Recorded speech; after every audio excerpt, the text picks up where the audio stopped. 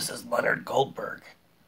He was a film and television executive and producer that lived between 1934 and 2019. He was the head of programming for ABC and served as the president of 20th Century Fox.